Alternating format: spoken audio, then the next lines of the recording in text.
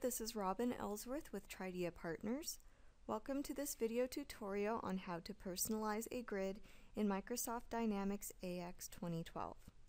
I will be showing you how to personalize a grid by adding a field.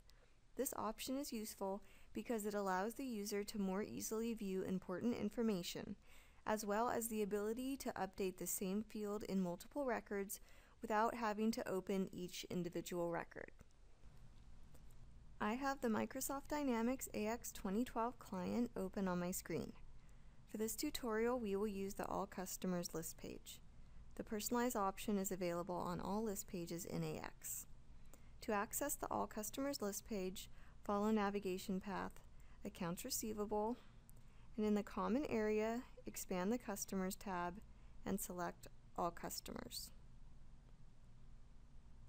The default fields for this list page are customer name, customer account, telephone, and extension. We want to be able to see if the customer has a separate invoice account associated with it without having to open the customer record and scroll down to the Invoice and Delivery tab to check. Instead, we want to add the invoice account field to the All Customers list page grid. To do so, right-click on any of the column headings and select Personalize. Note that this option is only visible to users with the appropriate security permissions. This opens the personalization form. In the Layout area, select List Page Grid and note the fields that it contains. With List Page Grid selected, click the Add Fields button. The Select Fields form shows the tables available which you can select fields from. Note that the field you wish to select may not be available to include in the grid. Expand the table containing the field you would like to add. We're going to expand the customers table and scroll down to select invoice account field. Click the Add button.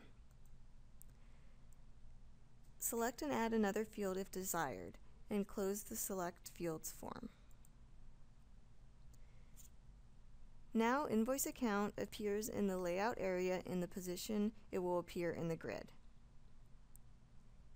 You can reposition the field by selecting it and using the Move buttons. Let's move the Invoice Account field down so it appears as the last column in the grid.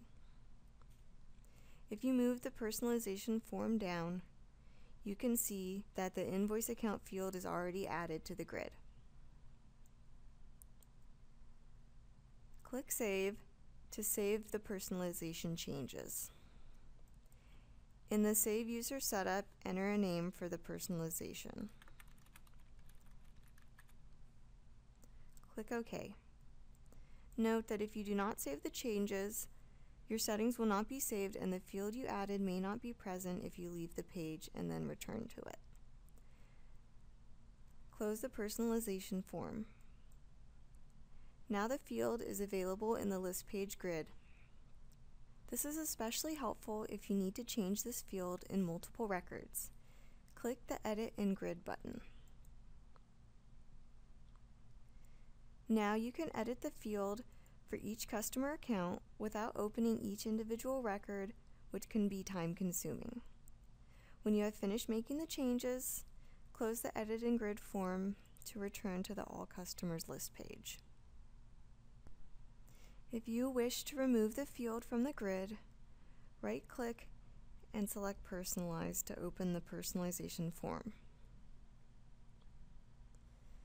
Select the field you wish to remove and click the Remove button. You can also click the Reset button to reset the grid to its default settings. Close the personalization form. Now the field no longer appears in the All Customers list page grid. I hope that you have enjoyed this video on how to personalize a grid in Microsoft Dynamics AX 2012. Thank you for taking the time to watch this video, and please check out the Tridea Partners website for additional information at trideapartners.com. Thank you.